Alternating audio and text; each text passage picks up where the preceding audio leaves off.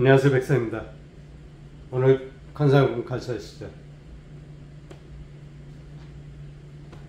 소설가 한강씨입니다. 노벨 문학상을 수상하셨죠. 나이는 53세고요. 이분의 관상에 대해서 한번 살펴보겠습니다. 오늘 공부할 관상은 기운에 대해서 살펴보겠습니다. 제가 영상을 찍으면서 기운에 대해서 굉장히 강조를 많이 했습니다. 왜 기운에 대해서 강조를 했냐 그러면 사람이나 사물이나 어떤 현상을 볼 때 이 기운이 굉장히 중요한 것입니다. 오랑이가 있다고 생각 한번 해보십시오. 오랑이 기세 기운을 살펴보시고 말이 있다고 생각 한번 해보십시오. 말의 기운을 한번 살펴보십시오. 기세를 한번 살펴보시죠. 다르죠? 그리고 히말라야 산, 에베레스트산의 기운 기세를 보고 북한 선상이라든지 남한 선상 이런 산의 기운 기세를 비교를 한번 해보십시오. 다릅니다. 사람도 마찬가지입니다. 이 지구상에 70억이 넘는 인구가 있지만 기운 기세를 넓은 분이 넓은 부위 뭐 넓은 부위로 분류하게 되면 이렇게 나눠서 분류할 수 있죠. 상중하라든지 뭐 다른 부위로 분류할 수 있죠. 하지만 각각에 본다 그러면 그 기운 기세가 다 다릅니다. 얼굴이 다르듯이 이 기운 기세는 굉장히 중요합니다. 계절로 한번 공부를 한번 해보겠습니다. 봄, 여름, 가을, 겨울이 봄의 기운하고 여름의 기운, 가을, 겨울 다 다르죠? 봄은 따뜻한 기운이 흐르죠? 여름은 굉장히 더운 기운입니다. 가을은 선선하죠? 겨울은 춥습니다. 이것은 계절별로 본 것입니다. 이렇듯이 사람에게도 봄의 기운이 있는가 하면 여름, 가을, 겨울의 기운을 가지고 있는 분들이 있습니다.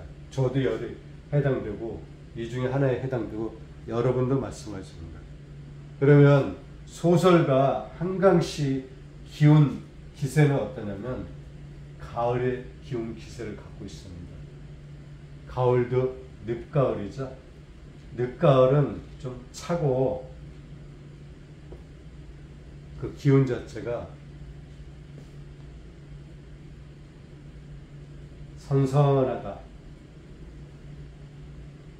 늦가을이니까 그리고 또 차죠. 기운 자체가 팔팔한 게 아닙니다. 한강시 사진을 한번 보십시오. 물론 제가 이미지 사진을 쭉 봤습니다. 얼굴, 웃는 얼굴도 있고 그렇지 못한 얼굴인데 대체적으로 사진을 살펴보니까 기운이 이렇습니다. 기운이 음의 기운이 강하죠.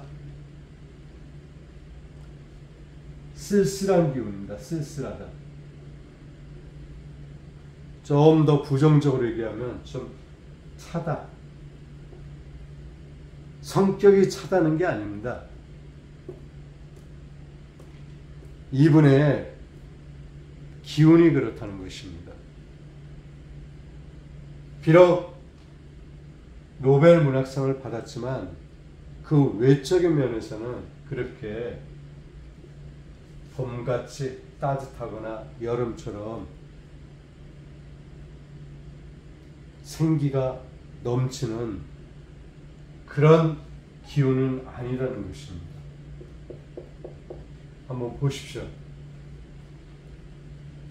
얼굴에서 뿜어져 나오는 기운을 한번 살펴보십시오. 그러면 왜 이 기운이 그러냐면 이런 기운을 갖고 있기 때문에 한평생 살아가면서 물론 돈을 벌거나 명성을 얻을 수 있지만 그 외적인 면에서는 좋지 못한 점도 굉장히 많이 갖고 있다는 것입니다. 그래서 여러분들도 사람을 살필 때 물론 이목구비를 살펴야 되지만 이목구비를 살펴서 관상을 보기가 어렵다고 하게 되면 기운을 한번 살펴보십시오. 그 기운이라는 게 기운 기세가 첫인상하고 동격으로 보셔도 됩니다. 처음에 딱 봤을 때 느껴지는 느낌이 있죠. 그게 바로 이 기운 기세입니다. 사람은 이 기운 기세대로 살아가는 것입니다. 저도 마찬가지고 지금 이 영상을 시청하신 여러분도 마찬가지입니다. 절대 벗어나지 않습니다. 호랑이는 호랑이로서의 삶을 살아가고 곰은 곰으로서의 삶을 살아가고 다람쥐는 다람쥐, 토끼는 토끼 이렇게 주어진 기운 기세대로 살아가는 게 인간이나 동물이나 모든 사물이 동일하다고 말씀을 드릴 수가 있습니다. 그래서